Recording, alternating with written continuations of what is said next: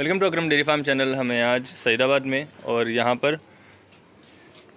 कुछ बकरियाँ हैं सेल के लिए अवेलेबल और एक मुर्गा है। तो सारी डिटेल मैं यहाँ के ओनर से बात करूँगा। अस्सलाम वालेकुम। खैरियत से भाई? अल्हम्दुलिल्लाह। क्या नाम है आपका? मोहम्मद यासिन। यासिन भाई आपके पास ये एक बकरी है ये एक पार्ट है और ये, दोनों ये बकरा है अच्छा नर बच्चा है। हाँ नॉर्मल और ये दोनों भी पाटा है। हाँ दोनों भी पाटा है। कितने दिन के बच्चे? दिन के बच्चे हैं छः दिन। इस बकरी के बच्चे। कब से पाल रहे हैं आप बकरी? है ये बहुत दिनों का बहुत दिनों से आपके बात है। यानी घर पे सेट हुई भी और पूरी तरकारी वगैरह खा रही देखिए बकरी। घर पे पली भी बकरी है जेन्यून और सेहतमंद है। ये जो बच्चा है ये भी इसी का है? नहीं नहीं उसका नहीं है। कितने महीने का होगा अभी है ये पाँच महीने का है। पाँच महीने का है। और ये पूरे एक साथ निकाल रहे ना हाँ पूरे एक साथ निकाल यानी चारों का लॉट है ये। हाँ। क्या प्राइस रख रहे हैं इन लोगों का? सोलह हज़ार सोलह हज़ार। सिक्सटीन थाउज़ेंड आसिंग प्राइस कम करेंगे इसमें?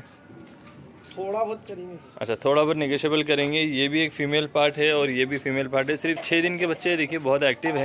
ये नर बच्चा भी अलहमदिल्ला बहुत अच्छा है। और ये एक बकरी है। बच्चे देने के बाद भी इसकी कंडीशन देखिए आप तरकारी वगैरह खाते हुए। आपके पास जो मुर्गा था इसका क्या रेट है? इसका पाँच हज़ार है। पाँच हज़ार। और कौन सी नस्ल में है वो? वो असिल का है। असील।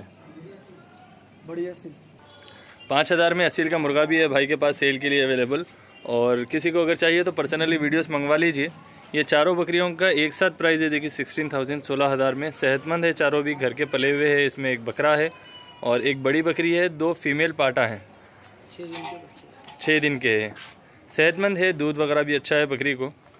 सैदाबाद में कहाँ पर आके कॉल करना पड़ेगा आप? वीआईपी स्कूल के पास आ गए था मैं पिक करता सैदाबाद वीआईपी स्कूल के पास आके कॉल भी करें तो पिक कर लेंगे आप। या कोई अगर लोकेशन मंगवाए तो भिजवा देंगे। चलिए। इसी तरह और भी बहुत सारे वीडियोज़ बताऊँगा मैं आप लोगों को चैनल को लाइक सब्सक्राइब शेयर करिए। Thanks for watching thank you